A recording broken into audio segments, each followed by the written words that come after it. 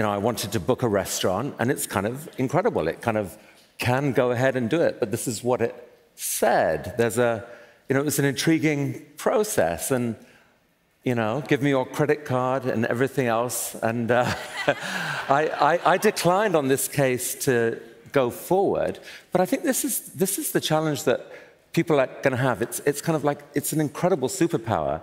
It's a little bit scary. And Yoshua Bengio, when, when he spoke here, said that agentic AI is the thing to pay attention to. This is when everything could go wrong as we give power to AI to go out onto the internet to do stuff. I mean, going out onto the internet was always, in the sci-fi stories, the moment where, you know, escape happened and potential things could go horribly wrong. How do you both release agentic AI and have guardrails in place that it doesn't go too far?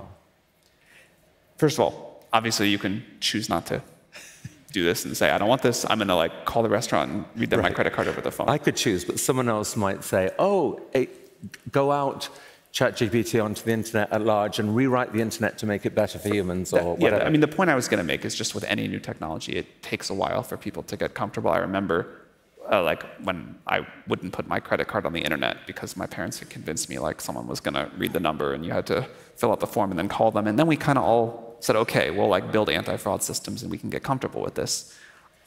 I think people are going to be slow to get comfortable with agentic AI in many ways. But I also really agree with what you said, which is that even if some people are comfortable with it and some aren't, we are going to have AI systems clicking around the internet. And this is, I think, the most interesting and consequential safety challenge we have yet faced because AI that you give access to your systems, your information, the ability to click around on your computer, uh, now those, you know, when the AI makes a mistake, it's much higher stakes.